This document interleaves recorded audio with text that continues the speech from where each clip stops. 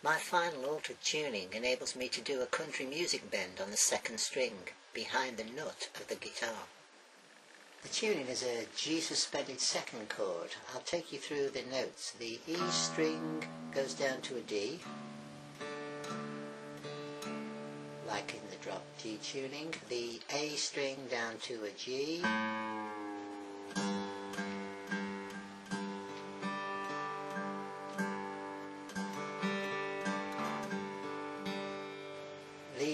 string the same and the D string the same. Leave the now the B string goes down to an A.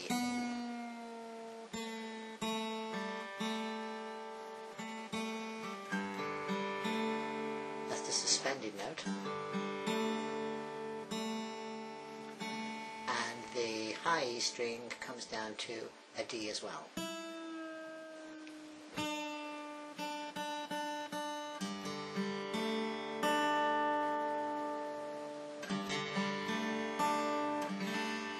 So it's almost a G chord, apart from the A note. Now here's the effect.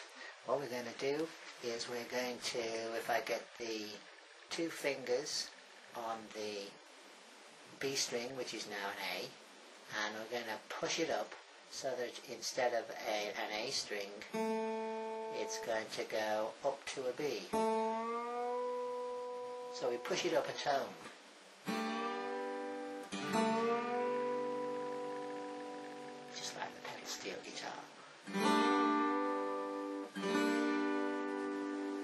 Takes a little bit of effort at first to get it just to the right note. Sounds particularly good when you use the harmonics on the 12th fret.